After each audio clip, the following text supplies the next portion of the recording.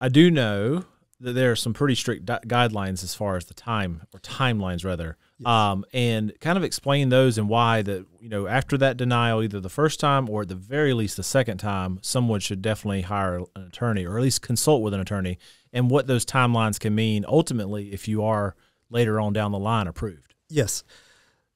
Within Social Security, you have a 60 day time frame to appeal. Okay. That is a very very tight window, and if you if you don't contact someone or put the appeal in immediately, life happens. Mm-hmm. And you know, 60 days it doesn't even sound like a lot of time, but it, it goes by even faster. Mm-hmm. So the day that you receive a denial, if you are going to get an attorney, you should contact an attorney that day.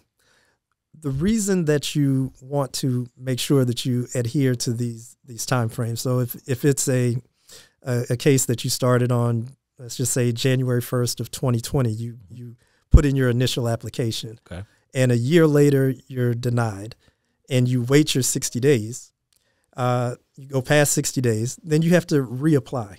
And so the thing with uh, disability is that you're able to get back pay for each month that your application was there, or each month that you were disabled. Sometimes they're different days, but for the time that you were disabled, you can get back pay going to that time. So a case that has to start over in 2021 and then is ultimately accepted in 2022 would have a year's worth of back pay.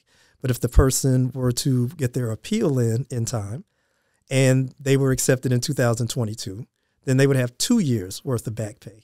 And let's just, you know, just as a hypothetical number, because you know, I'm, I'm, an attorney. I don't do math in public, yeah. so they get a thousand dollars a month. Well, that's twelve thousand dollars difference, mm-hmm. and it's just sitting there that they missed out. Correct. And and it's pretty strict timeline too. Correct. I mean, it is postmarked that day, and that's it. Correct. Okay.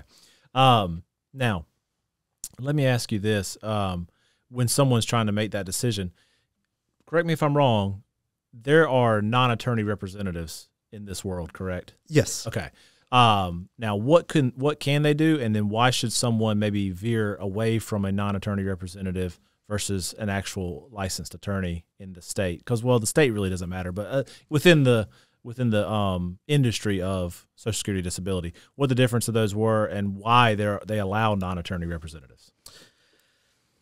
So, you are correct. There are non-attorney representatives, and even on the form, uh, whenever I sign someone up to say that I'm going to be their representative, mm-hmm. you have the check boxes for which one you are, whether yeah. you're an attorney or or just someone who is helping helping the person out. Mm-hmm. Um, with with being an attorney, you do have the we'll call it the safeguard that this person is still uh, has oversight with the, the bar. And those are some of the check boxes to make sure that you've never been um, disciplined by the bar, you've never been uh, disbarred. And if you have, you have to acknowledge that, check that off, and that gives the client an opportunity to question that. Why, you know, why were you disciplined? Yeah. What happened?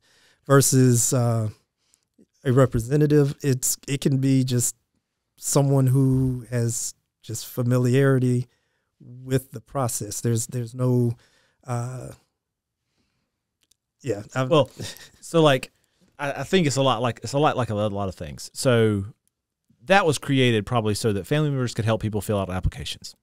Let's be right. honest. You know, that was probably just so you could help someone who was severely disabled right. get through the process. Um, problem is, is just like anything, there's going to be people who try to monetize that um, and, and kind of like debt collection. These these these companies that advertise, "We'll help you with your debt collection, and you pay us five hundred dollars," and all they do is write one letter, and if they're denied or doesn't help your debt, they just cash your check.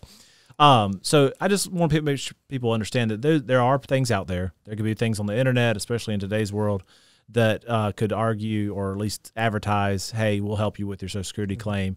And I definitely think it's critical, just like anything else, you should consult an attorney. Um, now, it doesn't really matter where that attorney's from, correct? Can you kind of explain that a little bit? You know, because this is not state court. Oh yes, yeah. It's it's more of a federal practice, and it's it's an administrative mm-hmm. practice as opposed to uh, being in in actual uh, judicial mm-hmm. courtroom.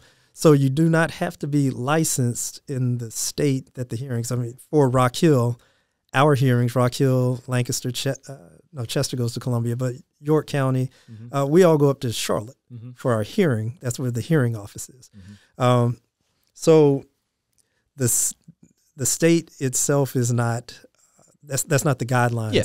for Social Security, but um, it is it is good to have someone who is familiar, you know, with the area and. Uh, you know, once you've done it a few times, you'll be in front of some of the same judges repeatedly, just like you would in, Mhm. in state court.